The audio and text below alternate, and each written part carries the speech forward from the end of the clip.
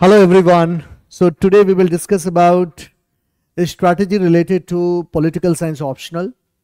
I will try to give you an idea about what you can expect from PW only IAS PSIR optional.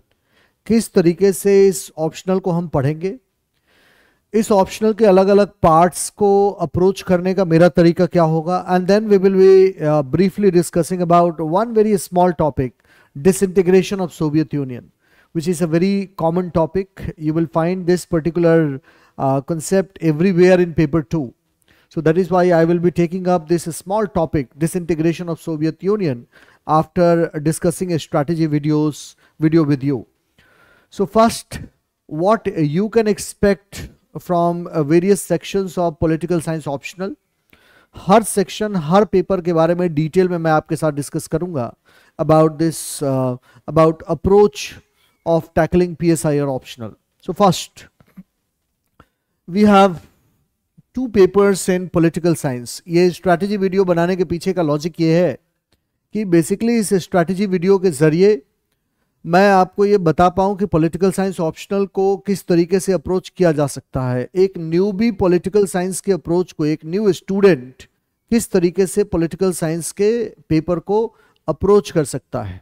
तो इस topic में हम लोग पहले discuss करेंगे approach to P S I R optional point number one approach to P S I R optional approach to P S I R optional and second we will discuss about briefly one very small topic disintegration of disintegration of Soviet Union Soviet Union ये video बनाने के पीछे objective ये है कि आप 27 से जो हमारा बैच स्टार्ट हो रहा है पी एस आई ऑप्शनल का, उसके बारे में आपको एक आइडिया देना कि पी एस आई ऑप्शनल में हम क्या ऑफ़र करने जा रहे हैं पी एस आई ऑप्शनल में किस तरीके से पढ़ाऊँगा। और पूरे ऑप्शनल में आपसे क्या एक्सपेक्टेशंस हैं सिविल सर्विसेज़ एग्ज़ाम के लिए यूपीएससी को? So approach to approach to P S I R optional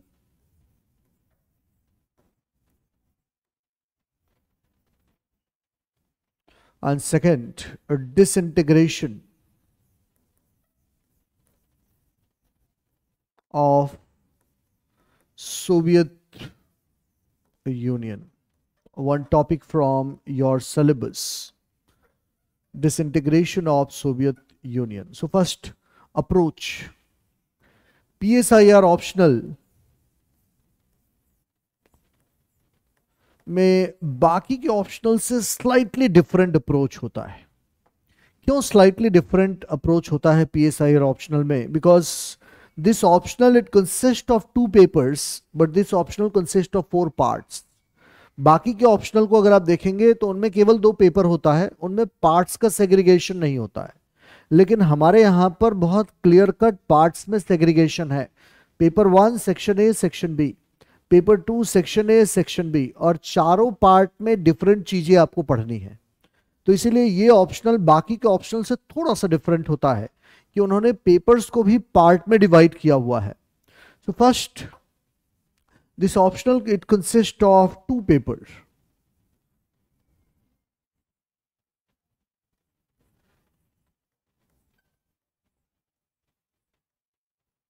it consists of two papers. Paper 1 and paper 1 again consists of two sections. It again consists of two section. Section a section a and section b. And paper 2 it consists of two sections like paper 1, section A and section B. Section A and section B.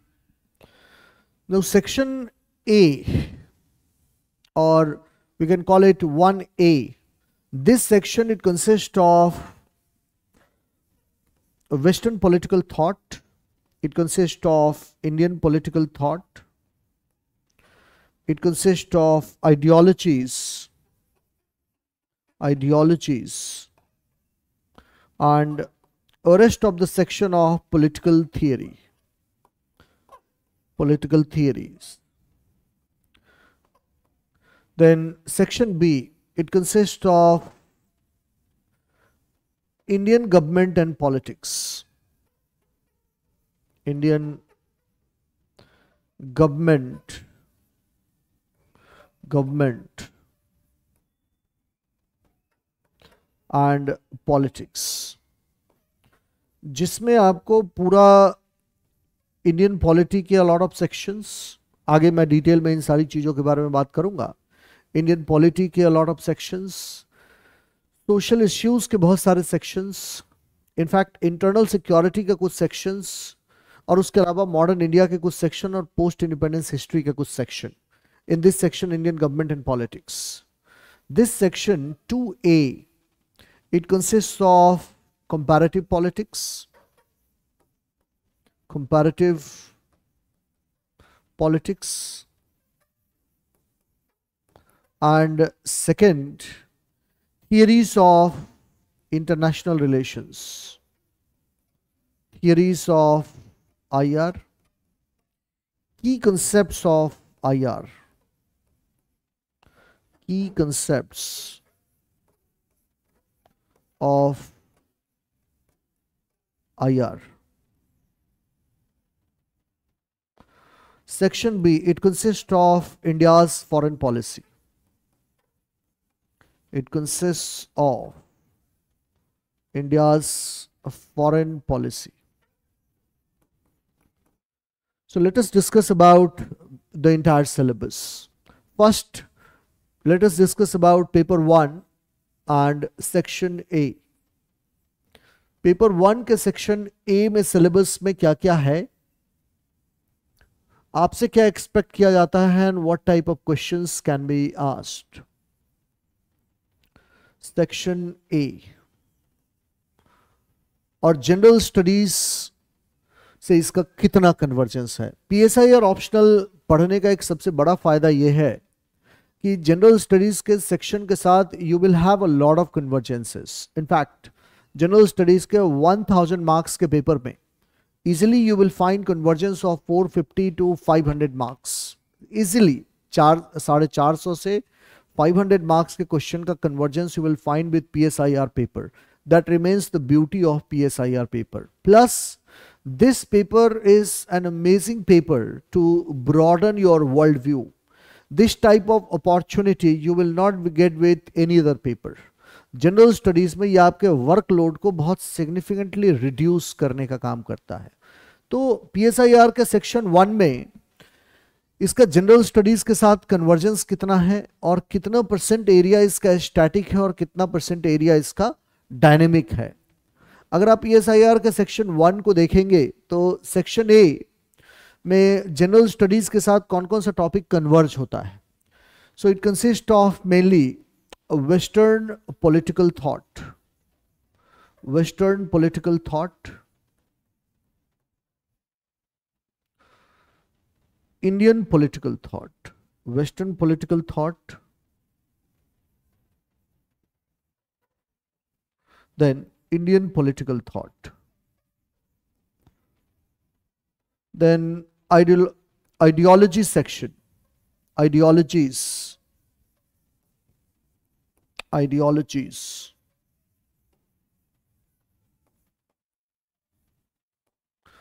Then, mm, theory of justice, theory of rights, then theories of state, theories, theory of justice, theory of rights theory of states etc and then political theory meaning and approaches अब इन सारे topic में general studies के साथ कहाँ convergence है अगर आप general studies के साथ कन्वर्जेंस इसका देखेंगे तो आपको at multiple points you will find convergence with general studies कहाँ कहाँ पर? जैसे for example entire western political thought you will be studying entire western political thought all the thinkers of western political thought you will be studying in your ethics paper in ethics paper आप Plato Aristotle Thomas Hobbes John Locke सबके बारे में पढ़ते हैं। I won't say that you will be studying about Hannah Arendt और ग्रामसी उसके बारे में उनके बारे में आप नहीं पढ़ेंगे। But majority of the thinkers you will be studying in general studies but obviously not in so much of depth जिस डेफ्थ में आप पी एस आई और ऑप्शनल में पढ़ेंगे इन थिंकर्स uh, को उस डेफ्थ के साथ आप जनरल स्टडीज़ में नहीं पढ़ते हैं। तो अगर एक पॉलिटिकल साइंस का सीरियस स्टूडेंट होगा तो वो बड़ी आसानी से जनरल स्टडीज़ के क्वेश्चन को स्पेशली थिंकर्स के क्वेश्चन को हैंडल कर सकता है। Western political thought it will help you out in GS paper four GS four में ये आपको हेल्प करेगा। Indian political thought again this will help you out in GS paper four plus essay के paper में। आपको बहुत greatly help करने वाला है। ये सेक्शन आइडियोलॉजीज अगर ये आप आइडियोलॉजीज के सेक्शन को डिटेल में पढ़ेंगे तो आप देखेंगे कि आइडियोलॉजी सेक्शन से ये पेपर वन में जनरल स्टडीज़ के पेपर वन में ये आइडियोलॉजीज का सेक्शन सीधे सीधे वैसे ही दिया हुआ है, जैसे पीएसआईआर ऑप्शनल के पेपर में दिया हुआ है जीएस पेपर वन में। और इसके अलावा सीधे सीधे उन्होंने क्वेश्चन थियोरी ऑफ़ जस्टिस जो रॉल्स थियोरी ऑफ़ जस्टिस हमें पढ़ना है, ये भी जीएस फोर के साथ इसका कन्वर्जेंस है। सीधे। मतलब यहाँ पर पेपर वन सेक्शन ए में आप जितने टॉपिक्स पढ़ते हैं उसका पेपर फोर में जनरली आपको कन्वर्जेंस देखने को मिलता है not in other papers of general studies लेकिन पेपर फोर में आपको सिग्निफिकेंट अमाउंट ऑफ़ कन्वर्जेंस दिखता है। थिंकर में थियरी वाले पोर्शन में बहुत सिग्निफिकेंट अमाउंट ऑफ़ कन्वर्जेंस देखने को मिलता है। अब यहाँ पॉलिटिकल साइंस ऑप्शनल से रिलेटेड एक uh, बड़ा इंटरेस्टिंग डेटा uh, मेरे सामने आया when I analyse the question paper of last 25 years the data says that section A paper one of political science is almost 100% static. Almost 95% to 100% static है. मतलब यहाँ पर बहुत ज़्यादा एग्जामिनर के पास इनोवेशन के ऑप्शंस नहीं है। स्टैटिक एरियाज़ की एक सबसे ब्यूटीफुल बात यह होती है whatever can be asked has already been asked अगर आप स्टैटिक एरियाज़ को देखेंगे तो उसकी सबसे बड़ी ब्यूटी होती है whatever can be asked has already been asked already पूछा जा चुका है, जो भी पूछा जा सकता है। यहाँ पर एग्जामिनर के पास बहुत सारे स्पेस नहीं बचते हैं आपके, आपसे नए क्वेश्चन पूछने का। तो नॉर्मली ऐसा होता है कि यहाँ पे a lot of question are repeated paper one section A में a lot of question are repeated लेकिन स्टूडेंट में मैं एक जनरल टेंडेंसी क्या देखता हूँ? वो ज़रूरत से ज़्यादा इंफेसाइज करते हैं वेस्टर्न पॉलिटिकल थॉट पर। अगर आप पेपर का पैटर्न देखेंगे specially of last five seven years तो वहाँ से एक बड़ा इंटरेस्टिंग ट्रेंड इमर्ज होकर आता है कि अब उनका स्पेशल इंफोसिस केवल वेस्टर्न पॉलिटिकल थॉट पर नहीं है। दे आस्क ओनली वन और two questions from western political thought और बाकी के क्वेश्चन वो पूरे सिलेबस में डिस्ट्रीब्यूट करते हैं। तो इसीलिए पीएसआईआर के पेपर में आज के डेट में अगर आप ट्रेडिशनल तरीके से चलेंगे टू थ्री इयर्स बैक जो ट्रेंड हुआ करता था पॉलिटिकल साइंस के पेपर में that trend should not be followed any more कारण क्या है कि अगर तुम वेस्टर्न पॉलिटिकल थॉट पे ज़रूरत से ज़्यादा फोकस करते हो और बाकी के पोर्शन को छोड़ के पेपर में जाते हो you will not do well क्योंकि उन्होंने पेपर को इस तरीके से डिवाइड कर दिया है कि आपको पूरे सिलेबस के बारे में पता होना चाहिए। अगर आप सेक्शन ए कर रहे हैं पॉलिटिकल साइंस का तो लिटरली आपको सारे सेक्शन के बारे में जनरल अंडरस्टैंडिंग होनी चाहिए, एक generic understanding of the things generic understanding of the syllabus of the topics given under the syllabus आपको बहुत इनडेप्थ स्टडी नहीं करनी है, लेकिन पूरे सिलेबस के बारे में आपको पता होना चाहिए। स्टूडेंट एक सबसे बड़ा मिस्टेक क्या करता है? वो अपनी 100% एनर्जी में से 70% एनर्जी वेस्टर्न पॉलिटिकल थॉट में लगाता है। That's not a very good strategy क्योंकि वेस्टर्न पॉलिटिकल थॉट से ऑलरेडी उन्होंने क्वेश्चन पूछने कम कर दिए हैं। अगर आप लास्ट फोर फाइव इयर्स की पीएसआईआर का पेपर देखेंगे so they ask hardly one two three question from western political thought and other question are ask from other parts of other parts of the area जहाँ पर वो Indian political thought को भी touch करते हैं।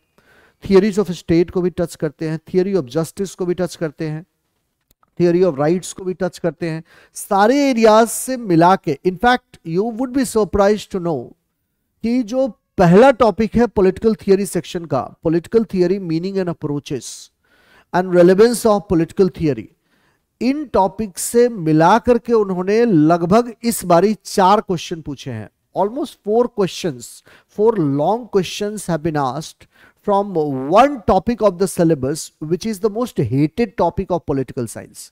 Political science का सबसे hated topic है पहला टॉपिक सिलेबस का political theory meaning and approaches जिसको स्टूडेंट नॉर्मली स्किप करते हैं इसलिए मैं कहता हूँ कि स्किप कुछ भी नहीं करना है सिलेबस के हर पोर्शन को टच करके ऑनेस्टी के साथ उस पोर्शन को फिनिश करना है और हर टॉपिक के साथ जस्टिस करना है मेरी पढ़ाने की स्ट्रैटेजी ये होती है कि मैं लगभग सारे सिलेबस के टॉपिक को उतना ही फोकस देता हूँ जितना मैं वेस्टर्न पॉलिटिकल थॉट को दूँगा। मैं ऐसा बिल्कुल नहीं करूँगा कि मैं केवल वेस्टर्न पॉलिटिकल थॉट ही आपको पढ़ा रहा हूँ, या केवल इंडियन पॉलिटिकल थॉट ही मैं आपको पढ़ा रहा हूँ।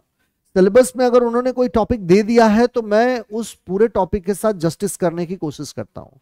किसी एक टॉपिक पर मैं ऐसा बिल्कुल नहीं करूँगा कि मैं डबल कर दूँ अपने एफर्ट को, और बाकी टॉपिक में मैं अपने एफर्ट को कम कर दूँ। क्यों? क्योंकि क्वेश्चन वो हर एक टॉपिक से पूछ रहे हैं। अभी जैसे पॉलिटिकल थियरी के मीनिंग एंड अप्रोचेस से this year they asked almost four question अभी वो फोर क्वेश्चन वैसे थे कि अगर आपने ठीक से पढ़ा हुआ है तो आप आंसर दे देंगे। आपने ठीक से पढ़ा नहीं है तो आप स्ट्रगल करेंगे।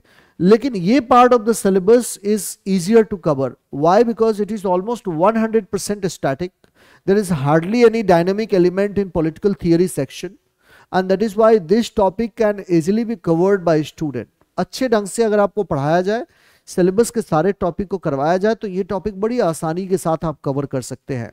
दिस वन क्योंकि यहाँ पर dynamic element is less and there is more and more static element and moreover most of the question are repeated question maximum question repeated question है, जो बार बार बार बार पूछे जा रहे हैं।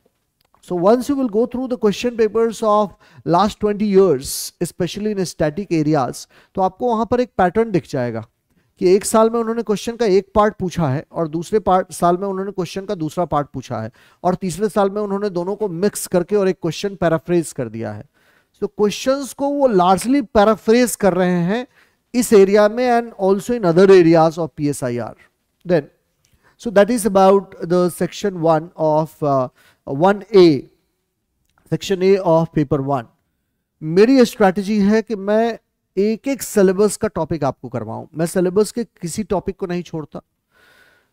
क्वेश्चन पेपर को ध्यान में रखकर ही मैं अपने क्लास में बच्चों के साथ किसी भी टॉपिक को डिस्कस करता हूँ। I don't like to discuss about the things without having question paper in my hand मेरे पास लास्ट ट्वेंटी ईयर्स के क्वेश्चन होते हैं। उसके बेसिस पर मैं चीज़ों को स्ट्रेटेजाइज करता हूँ।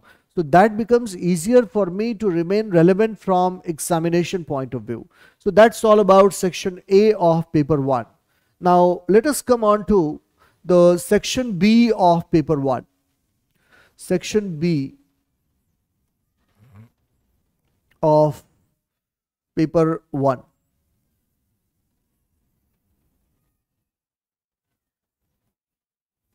Section B. Section B में हम क्या पढ़ते हैं Section B, it consists of Indian government and politics. Indian government and politics. It consists of areas of modern Indian history, perspectives on Indian national movement, then entire Indian polity section जो आप prelims और mains में जो आप पढ़ते हैं वो सारी चीज़ें यहाँ कवर होती है। इसके अलावा bit of post Indian post independence history and also bit of internal security topic a bit not much and social issues topic although topics are covered here this consist of modern Indian history general studies का modern history Indian polity Indian polity. Then modern history. Indian polity. Then topics like um, social issues जैसे women related issues women movement regionalism ये सारे topic social issues के topic हैं regional regionalism का topic women issues then human rights movement these topics environmental movements in India ये सब general studies के topic हैं. So topics of social issues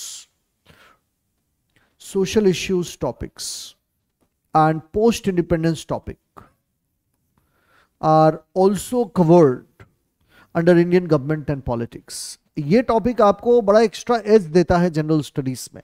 अगर आप पीएसआईआर का सिलेबस ईमानदारी के साथ करते हैं तो ऑलमोस्ट इंडियन पॉलिटी के प्रिलिम्स और मेंस के सारे question you can easily covered thirty forty percent section of modern Indian history जिसके लिए कोई स्पेसिफिक पढ़ाई करने की ज़रूरत नहीं है। और इसके अलावा आप सोशल इश्यूज़ के बहुत सारे टॉपिक यहाँ से सीधे सीधे कवर होते हैं। अगर आप मेरे से पूछेंगे कि यहाँ पर स्टैटिक और डायनेमिक का क्या मिक्स होता है तो यहाँ पर स्टैटिक एरियाज़ स्टैटिक मीन्स क्या? स्टैटिक मीन्स कोर वो कोर एरियाज़ यहाँ पर होगा almost 70 percent area 70 to 75 percent areas are static areas in static को करने के बाद ही आप डायनेमिक एरियाज़ सक्सेसफुल तरीके से कर पाएँगे। जो डायनेमिक एरियाज़ वो 25 टू 30 परसेंट पूछते हैं, वो आप तभी कवर कर पाएँगे when you are done with static areas अगर स्टैटिक एरियाज़ आपका अच्छा नहीं है then it will become difficult for you to cover dynamic areas हाँ but I can assure you one thing that if you have completed your PSIR syllabus, you can easily cover topics of general studies. Almost this this will this topic will greatly help you in paper 2 paper one of general studies paper three में एक आध topic converge होते हैं not much एक आध जैसे for example communalism जो भी हमें यहाँ पर पढ़ना है, हमें यहाँ पर कम्युनलिज्म टॉपिक्स भी पढ़ने हैं नेशनल इंटीग्रेशन भी पढ़ना है रीजनलिज्म भी हमें यहाँ पर पढ़ना है। ये सब टॉपिक जनरल स्टडीज़ के टॉपिक है। विमेन रिलेटेड इश्यूज़ हमें यहाँ पर पढ़ने हैं इन्वायरमेंटल मूवमेंट हमें यहाँ पर पढ़ना है, वो सब जनरल स्टडीज़ के साथ कन्वर्ज करता है। So this topic is going to help you out greatly in general studies यहाँ पर almost 70 percent to 75 percent question are static in nature and 25 to 30 percent question are dynamic in nature अगर आप successfully इस topic को करते हैं तो general studies में ये आपको ग्रेटली हेल्प करेगा। And then comes paper two paper two section A paper two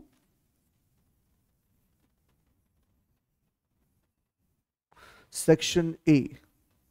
Paper two का section A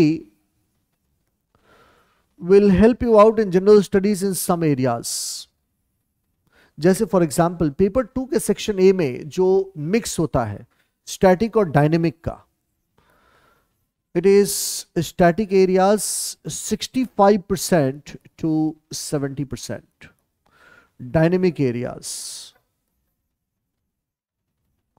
dynamic areas 30 to 35% 30 से 35 परसेंट डायनेमिक एरियाज़ होता है। स्टैटिक एरियाज़ 65 टू 70 परसेंट होता है स्टैटिक एरियाज़ सेक्शन ए में। जहाँ पर जनरल स्टडीज़ के साथ कुछ एक एरियाज़ का कन्वर्जेंस है। कुछ एरिया का जनरल स्टडीज़ के साथ कोई कन्वर्जेंस नहीं है। For example theories of international relations. There is absolutely no convergence with general studies. Key concepts, key concepts like balance of power, national interest, transnational actor, there is absolutely no convergence. Comparative politics, comparative key concepts, comparative politics इसका GS के साथ कोई convergence नहीं है, लेकिन उसके बाद जो भी टॉपिक है, सबका जीएस के साथ कन्वर्ज है कन्वर्जेंस है। जैसे फॉर एग्जांपल वर्ल्ड हिस्ट्री से बहुत सारे टॉपिक्स हैं यहाँ पर like cold war disintegration of Soviet Union arms race and nuclear threat non align movement ये सबका जनरल स्टडीज़ के साथ कन्वर्जेंस है। Then you have W T O I M F world bank ये सब जीएस में पढ़ना है। Then you have United Nations and related agencies ये भी आपको जीएस में पढ़ना है। एंड रिलेटेड एजेंसीज ये भी आपको जीएस में पढ़ना है। And then climate change democracy climate change democracy terrorism ये सब टॉपिक भी आपको जनरल स्टडीज़ में पढ़ने हैं। और इसके अलावा W T O I M F world bank ये पूरा का पूरा टॉपिक इनफैक्ट इन तीन मेजर टॉपिक को छोड़ने के बाद पूरे सिलेबस में जो कुछ भी है anyway you will be studying in general studies whether you are a student of P S I और ऑप्शनल और नॉट आप किसी भी ऑप्शनल के स्टूडेंट हो, आपको ये सारे टॉपिक पढ़ने ही पढ़ने हैं जनरल स्टडीज़ में। पी एस आई और ऑप्शनल का एक सबसे बड़ा एडवांटेज क्या है? It helps you out not only in prelims but also not only in mains but also in prelims in prelims they ask almost 13 14 questions from uh, indian polity and they ask almost 13 14 questions from international institutions मेरे teaching career में मुझे ये लगता है कि शायद international institution से ज़्यादा लो हैंगिंग फ्रूट आपको कुछ भी नहीं मिलेगा प्रीलिम्स में almost one fourth 30 percent 25 to 30 percent of the paper in prelims you directly get uh, from PSI or optional paper. अगर आपने PSI और ऑप्शनल किया हुआ है तो 25 से 30 परसेंट आपको जनरल स्टडीज़ का पेपर वहाँ से कवर होता है। जैसे फॉर एग्जांपल यहाँ पर इंस्टीट्यूशंस का एक चैप्टर है। एक टॉपिक है यहाँ पर इंस्टीट्यूशंस का जिसमें हम लोग पढ़ते हैं। इंटरनेशनल रीजनल ऑर्गेनाइजेशंस और जिसमें हम लोग पढ़ते हैं यूरोपियन यूनियन के बारे में। हम लोग पढ़ते हैं आसियान के बारे में, हम लोग पढ़ते हैं एपेक के बारे में, Asia Pacific economic cooperation right now अभी उसके समिट के बारे में बात हो रही है। आसियान के बारे में पढ़ते हैं, उसके अलावा यूएसए कनाडा मेक्सिको के बारे में पढ़ते हैं। हम लोग यहाँ पर बिम्स्टेक और सार्क के बारे में पढ़ते हैं। बिम्स्टेक सिलेबस में नहीं है, लेकिन यहाँ से क्वेश्चन उन्होंने पूछे हैं। हम लोग यहाँ पर सार्क के बारे में पढ़ते हैं। This all these topics are important from general studies point of view prelims mains आपको जनरल स्टडीज़ में इन टॉपिक से क्वेश्चन रेगुलर बेसिस पर they keep on asking that is why one benefits of having psi or optional is that it uh, it really reduces your workload while dealing with general studies paper gs के paper में आपका workload बड़ा significantly कम कर देता है ये सबसे बड़ा एडवांटेज है पीएसआई और ऑप्शनल का। So that's about section A of paper two now let us come on to the section B section B of paper two paper two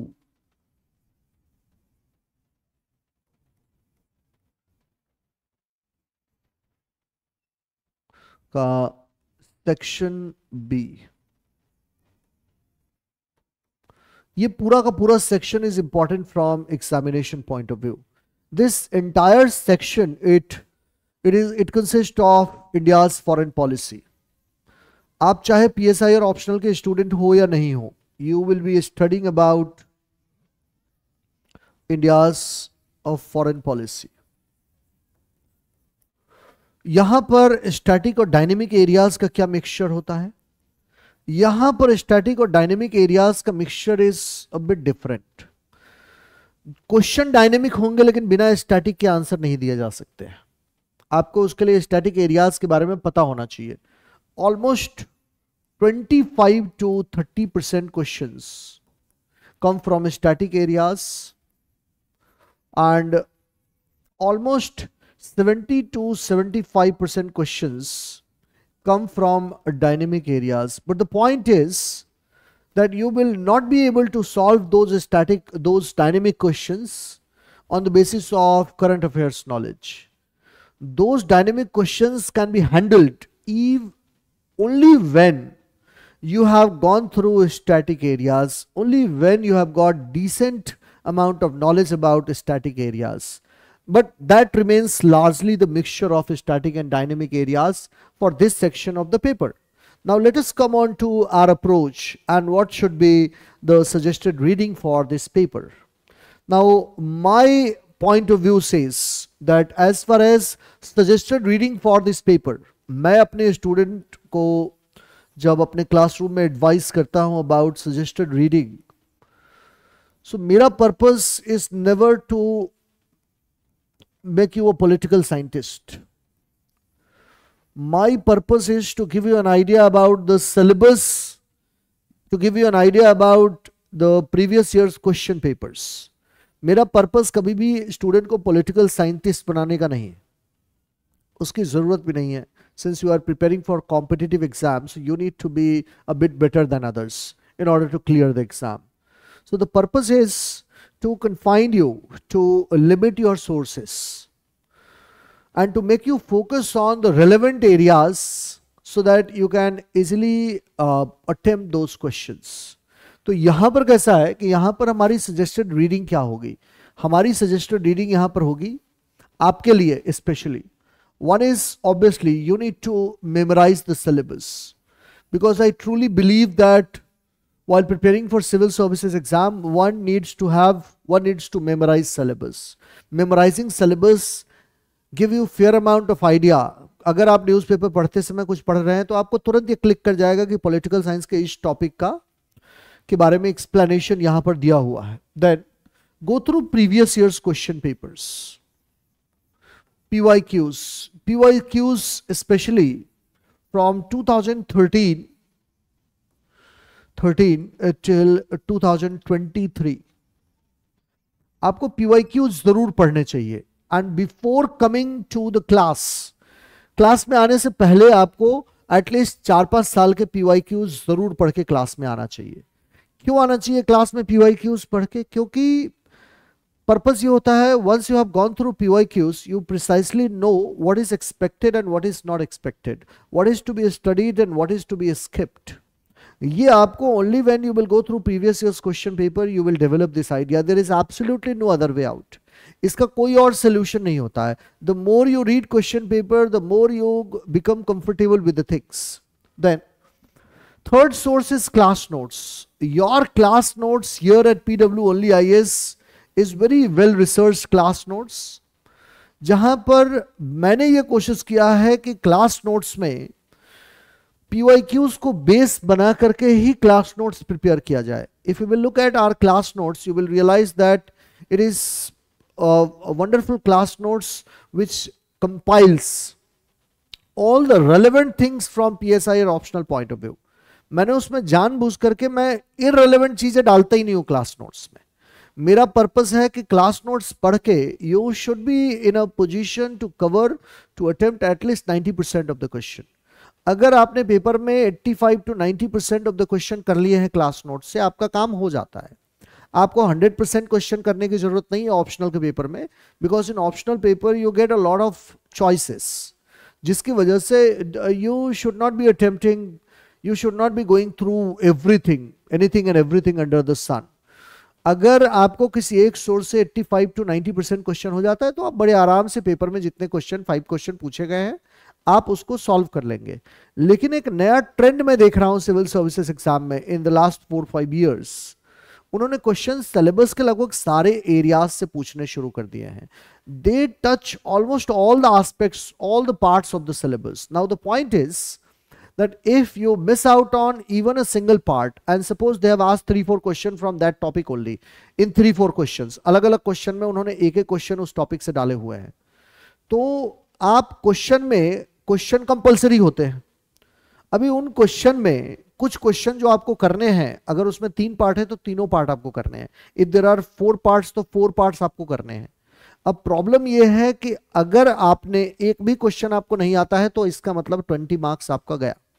इसलिए मैं स्टूडेंट से कहता हूँ that you cover entire syllabus जैसे PSIR के IGP section में एक topic है जहाँ पर कॉन्स्टिट्यूशनल बॉडीज और स्टेट्यूटरी बॉडीज के बारे में उन्होंने around ten bodies are there जिसमें उन्होंने इलेक्शन कमीशन या computer and auditor general of India उसके बाद national commission for women national commission for schedule caste schedule tribe सारे टॉपिक्स के बारे में उन्होंने उसमें पूछा हुआ है फाइनेंस कमीशन अब ये एक ऐसा टॉपिक है कि अगर आप इसको छोड़ करके चले गए इस पर्टिकुलर टॉपिक को तो आपके सामने सबसे बड़ी समस्या ये होगी कि हो सकता है कि उस साल में तीन क्वेश्चन पूछा हुआ हो इस एक पर्टिकुलर टॉपिक से तो आपका 20-30 नंबर का पेपर चला जाएगा तो इसीलिए आपको बहुत ज़्यादा डेफ्थ में टॉपिक को करने की ज़रूरत नहीं है but you you need to have tremendous amount of range with you you need to cover each and every part of the syllabus. There is absolutely no point in leaving any single topic of the syllabus. इस साल के paper में a lot of students were surprised. They got almost three, four questions from one single topic, political theory, meaning and approaches topic. एक topic से उन्होंने तीन चार question पूछे हैं और लंबे क्वेश्चन पूछे हैं 15 मार्कर 20 मार्कर उन्होंने पूछा है एक सिंगल टॉपिक से उसमें कुछ करना ही नहीं है you need to cover each and every topic of the syllabus and once you have gone through the question papers of last 10 years especially since 2013 almost 80-85% of your work has been done. उसके बाद अगर आप ठीक ठाक writing practice कर लेते हैं you are likely to do well in the exam आप एग्जाम के प्रोसेस में अच्छे करेंगे it is an absolute guarantee so the point is that you need to know a couple of things but you need to know it from examination point of view you need to know less but know those things from examination point of view keeping in view uh, the syllabus of the exam. So your suggested reading, it should be first syllabus, PYQs, class notes. And then I will uh, uh, refer a couple of sources to you. Once you will join the course, I will refer you a couple of sources. Those sources are excellent sources. For example, I personally refer IGNU a lot, IGNU MA especially, because what I find surprising, political science का syllabus में जो topics दिए हुए हैं, मेरे लिए सबसे surprise करने वाली बात यह है कि वो टॉपिक का हेडिंग तक उन्होंने इग्नू से उठाया हुआ है। सीधे हेडिंग उठाया हुआ है इग्नू से। क्यों उन्होंने ऐसा किया है? शायद इसके पीछे रीजन ये है कि IGNOU is readily available IGNOU का मटेरियल बच्चों को गाँव में और पूरे हिंदुस्तान में कहीं भी मिल जाता है। इसलिए इग्नू का सिलेबस सीधे सीधे उन्होंने टॉपिक उठाए हुए हैं सिलेबस में। इसीलिए आपके पार्ट पर क्या काम है? आपके पार्ट पर बहुत सिंपल काम है। That you need to go through class notes exhaustively multiple times, three, four, five times. उसके बाद आप वहाँ से एक ब्रीफ नोट तैयार करेंगे और फिर eventually you will be doing value addition and this will be coupled with value addition value addition इसके अलावा अगर आप मेरे से सोर्स पूछेंगे बुक्स में so only one book will suffice and that will be IGNOU M that's it उसके अलावा करंट अफेयर्स जो आप जनरल स्टडीज़ के लिए पढ़ते हैं उसी करंट अफेयर्स को इंटीग्रेट करना है पॉलिटिकल साइंस के पेपर में वैल्यू एडिशन जिसमें आप करंट अफेयर्स से टॉपिक को इंटीग्रेट करेंगे। अगर मान लिया मैंने आपको suppose comptroller auditor general topic पढ़ाया है। अभी कॉम्पोटोलर ऑडिटर जनरल टॉपिक पढ़ाते समय आपको इस बात का ध्यान में रखना है कि क्या सीएजी से रिलेटेड कोई एक चीज़ अभी करंट अफेयर्स में न्यूज़ में है, उसको अपने नोट्स में इनकॉर्पोरेट कर दीजिए। अगर मान लिया मैंने आपको सेंटर स्टेट फाइनेंशियल रिलेशंस पर कोई एक चीज़ बताई है रिलेटेड टू फाइनेंस कमीशन आपको ऐसा लगता है कि अभी लेटेस्ट फाइनेंस कमीशन की कुछ एक बातें terms of reference finance commission से रिलेटेड कुछ एक बातें करंट अफेयर्स में आई हैं। करंट पढ़ते समय आपके सामने आया, उसको उठा के अपने नोट्स में ऐड कर दीजिए। That is how the whole thing works ये आपके आंसर को एक एक्स्ट्रा एज प्रोवाइड करता है, वो वैल्यू एडिशन और वो value addition can easily be done through current affairs provided you have done the whole syllabus अगर आपने सिलेबस ढंग से पढ़ा हुआ है तो value addition can easily be done so that's about the syllabus of political science so it's a wonderful optional it will cover almost half of the general studies syllabus and the beauty of this entire syllabus is uh, psir syllabus is that it makes your knowledge very broad based and it also expands your worldview And this will help you out not only in general studies paper this will greatly help you out in optional paper जहाँ आजकल जो वो philosophical essays पूछने लगे हैं वो philosophical essays आप जब पॉलिटिकल थियरी करते हैं तो इनफ नॉलेज आपको इन फिलोसॉफिकल बातों के बारे में हो जाता है कि कैसे डील करना है फिलोसॉफिकल स्टेटमेंट्स को इसके अलावा it will help you out tremendously your, at your interview stage. So at every stage of the examination, political science is going to help you out greatly. Prelims के paper में almost 30% of the paper it comes directly from political science optional. Entire Indian polity and international institutions will be covered through PSI or optional. Mains के paper में almost half of the general studies, almost 500 marks of general studies will be covered through PSI or optional. And not only this, entire essay will be covered through PSI or optional and it will benefit you immensely at your interview stage. इसीलिए this optional is a wonderful optional. Overall, I feel that any optional is a good optional. Provided your interest aligns with that optional अगर आपका interest उस optional के साथ align करता है so any optional is a good optional so that's about the entire overview of uh, an approach of political science. So our approach will be to cover entire syllabus keeping in view previous year's question paper. PYQs को ध्यान में रखते हुए पूरे syllabus के एक एक topic के साथ जस्टिस करना will remain our approach and now let us discuss about one small topic जो टॉपिक मैं आपके साथ यहाँ डिस्कस करूँगा मैंने जानबूझ के एक छोटा टॉपिक लिया है because we are short of time तो हमें ये पूरा lecture we need to finish in one hour और one hour fifteen twenty minutes तो इसीलिए मैंने एक छोटा सा टॉपिक चुना है, जिसमें I will give you a glimpse the way I will I will be teaching you in I will be teaching you in class so the topic will be disintegration of Soviet Union. Disintegration. Integration.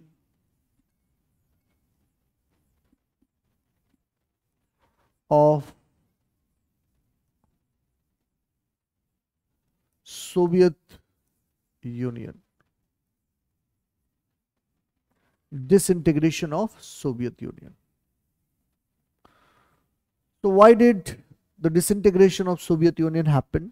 क्यों हुआ था Soviet union का disintegration disintegration of Soviet Union, it marks the end of Cold War. So, end of Cold War is considered as, um, I suppose that you know a bit about Cold War. क्योंकि otherwise class में तो मैं पहले आपको cold war ही पढ़ाता लेकिन कोई बात नहीं यहाँ मुझे ये टॉपिक करना है तो केवल ये समझ लीजिए कि कोल्ड वॉर का मतलब it was not an actual war it was an ideological tussle between two super power दो सुपर पावर के बीच में जो आइडियोलॉजिकल टसल था आइडियोलॉजिकल राइवैलरी थी बिटवीन यूएसए एंड यूएसएसआर उन दोनों की आइडियोलॉजी के बीच में that is called as cold war it was not an actual war Soviet union के डिसइंटीग्रेशन के साथ cold war ended and end of cold war is considered as a defining moment, defining moment of of international politics. But why do we call this moment as a defining moment of international politics? So we call this moment as defining moment of international politics because of a number of reasons. And those reasons are that Cold War, Cold War was, or end of Cold War rather, end of Cold War was a momentous event momentous event international politics के बहुत बड़े event में से एक था momentous event in international politics And why do we call Cold War as a defining moment in international politics? Because Cold War was a frame of reference. Cold War became a frame of reference. Reference in international politics. End of cold war jab hua to pura international politics it came to be described in terms of cold war. So scholars started saying before cold war frame of reference means what? Cold war became a frame of reference. So before cold war during cold war. Before cold war during cold war and post cold war. So that is how the cold war became a defining moment of international politics. Before cold war during cold war and post cold war. मतलब international politics में सारी बातें इस तरीके से describe किया जाने लगा कि cold war before cold war cold war से पहले ये होता था कोल्ड वॉर के ड्यूरेशन में ये होता था कोल्ड वॉर के बाद ये होने लगा। So cold war is considered as a defining moment of international politics जब कोल्ड वॉर खत्म हुआ तो ऑब्वियस सी बात है कि वर्ल्ड में बहुत सारे चेंजेस आए होंगे। क्या थे वो चेंजेस उनके बारे में जानने की कोशिश करते हैं।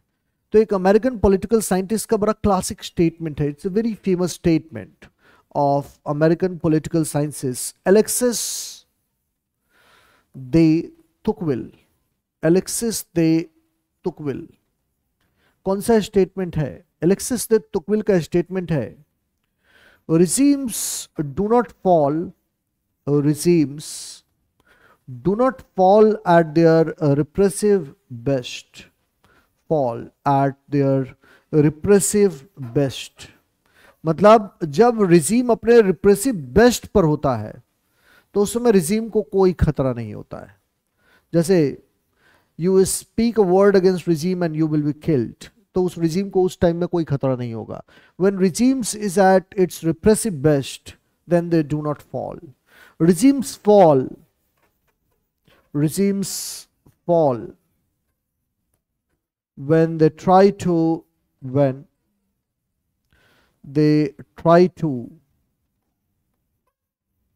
to reform themselves समझ रहे हो मेरी बात regimes fall they when they try to reform themselves ये बड़ा क्लासिक स्टेटमेंट है थोड़ा इसको क्लोजली समझने की कोशिश कीजिए एलेक्सस ने Tocqueville said that regimes do not fall when they are at their repressive best regimes fall when they try to reform themselves. Precisely, this particular statement sums up the disintegration of Soviet Union and fall of communist regime in Soviet Russia. किस तरीके से? Soviet Russia तब तक उसका disintegration नहीं हुआ जब तक वो अपने रिप्रेसिव बेस्ट पर था। लेकिन जब उसने रिफॉर्म करने की कोशिश की तब सोवियत रशिया का डिसइंटीग्रेशन हुआ। Regimes fall when they try to reform themselves So disintegration of Soviet Union, in ha it happened during the presidentship of, during presidentship of Mikhail Gorbachev, presidentship of Mikhail Gorbachev. Gorbachev ने जो reform करने की कोशिश की गोरबाचोव से पहले के किसी प्रेसिडेंट ने रिफॉर्म करने की कोशिश नहीं की थी। गोरबाचोव ने रिफॉर्म करने की कोशिश की और जब गोरबाचोव ने रिफॉर्म करने की कोशिश की, उस समय रिजीम का डिसइंटीग्रेशन हुआ। So the purpose of the reforms launched by Mikhail Gorbachev was not disintegration of Soviet union लेकिन हुआ ऐसा कि आप सोचते अच्छा है, लेकिन हो बुरा जाता है। गोरबाचोव ने सोचा तो अच्छा सोवियत यूनियन के लिए, लेकिन हो बुरा गया। And Soviet Union disintegrated. So what were the factors responsible for disintegration of Soviet Union? क्योंकि इस बात को हमेशा याद रखिएगा कि disintegration of Soviet Union के पीछे what were the factors responsible? इन फैक्टर्स को जानना हमारे लिए बहुत ज़रूरी है बहुत ज़रूरी क्यों है इन फैक्टर्स को जानना which were responsible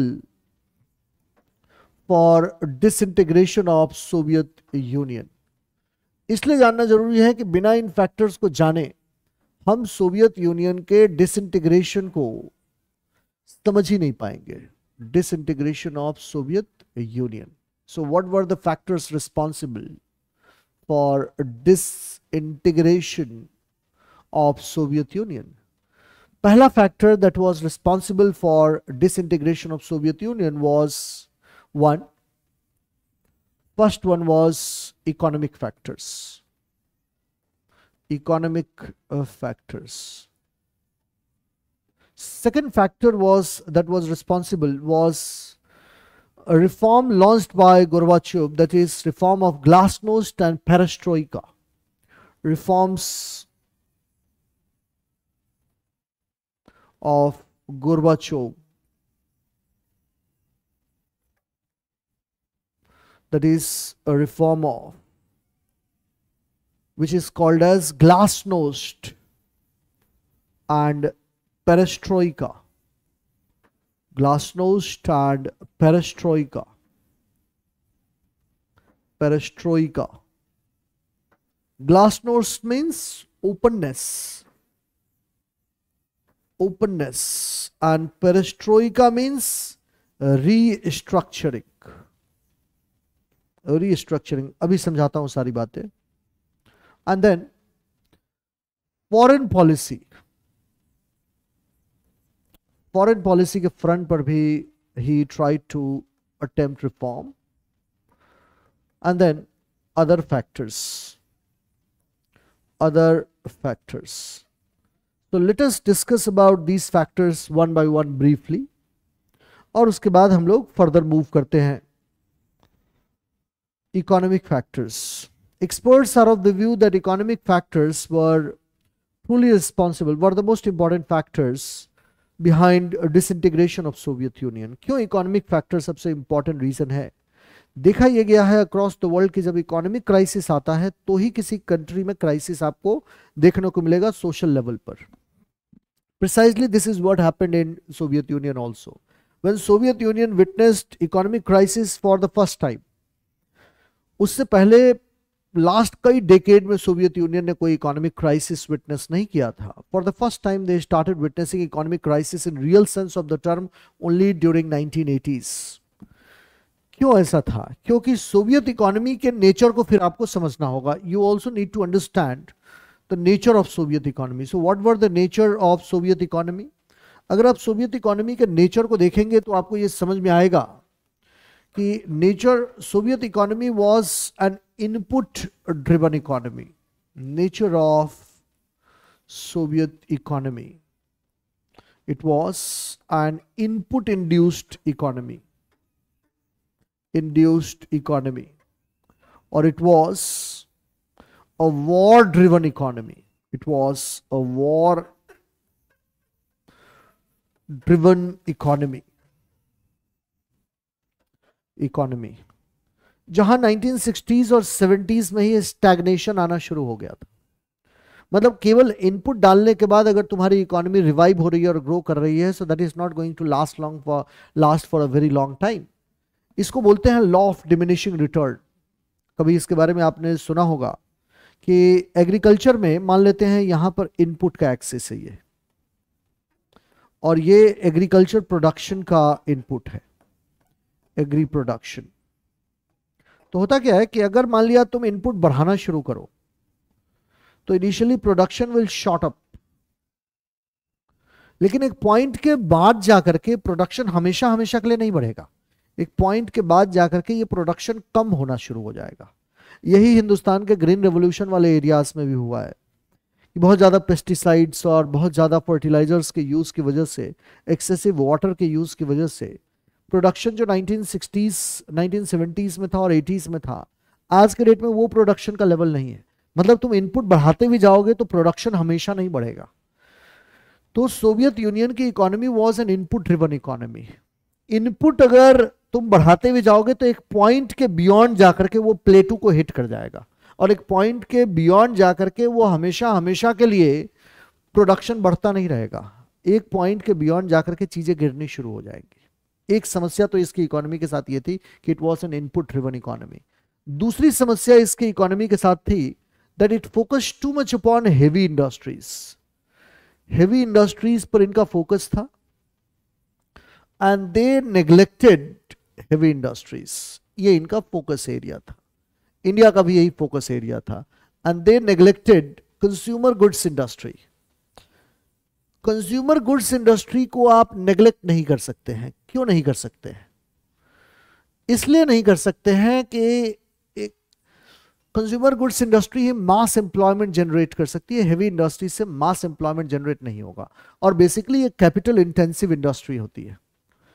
तो ये एक समस्या इनकी इकोनॉमी में स्ट्रक्चरल डिफेक्ट्स आ गया। Over the period of time economy of Soviet Union started witnessing economy of Soviet Union witnessed structural defects, witnessed structural defects और इस स्ट्रक्चरल डिफेक्ट्स को विटनेस करने की वजह से इनकी इकोनॉमी में बहुत सिग्निफिकेंट चैलेंजेस आने शुरू हो गए। और एक बारी जब इकोनॉमी डाउनटर्न में गई तो फिर तो एक के बाद दूसरी नेगेटिव चीज़ें होती चली जाती है। दूसरा जो रिफॉर्म किया था गोरबाचोव ने, वो था ग्लास नोट्स का रिफॉर्म क्या था ग्लास नोट्स और ओपननेस सोवियत यूनियन के बारे में आपने ये पढ़ा होगा that iron curtain what put down उनको बाहर के वर्ल्ड के बारे में कुछ नहीं पता होता था लोगों को। सोवियत यूनियन में ओपननेस लाने की कोशिश की गई सोवियत इकोनॉमी और सोसाइटी में। And Soviet people they got to know about the quality of life enjoyed by United States of America and other European nations वो उनके बारे में पता चला लोगों को कि भाई वहाँ तो क्वालिटी ऑफ़ लाइफ बहुत ही कमाल का है। ये हमें जो बातें बता रहे थे वो सारी बातें गलत थी। So this openness coupled with IT revolution of that time IT revolution and attempt of government to raise iron curtain तो इंफॉर्मेशन के एक्सचेंज के लिए रास्ता बनाया गया। When people got to know about the quality of life enjoyed by others so people of soviet union they balked in fact they came into the mood of revolt and then another reform that was done by gorbachev was perestroika that is restructuring perestroika kya hai communist party use to remain at the centre of Soviet life पहली बार ऐसा हुआ कि communist party को यह कहा गया कि अभी केवल आप ही इलेक्शन नहीं लड़ेंगे। Only one third of the seats were reserved for communist party and rest two third of the seats were to be openly contested समझ रहे हो मेरी बात? अभी तक क्या था कि communist party he use to be the pivot of Soviet society अब ये कहा गया कि only one third of the seats will be reserved for communist party and rest two third of the seats will be reserved for will be openly contested and that brought into the system other power contenders also. And that is how things changed. और वहाँ से लोगों के ambitions भी बढ़ने शुरू हुए। दूसरे पावर जो पावर में दूसरे लोग भी आना चाहते थे। Communist party was no more the pivot of Soviet life second change था। कि जहाँ पर उन्होंने इलेक्शन सिस्टम में इलेक्टोरल सिस्टम में इलेक्टोरल सिस्टम में रिफॉर्म लाने की कोशिश की। और अब communist party was not the only pivot of Soviet society it was communist party communist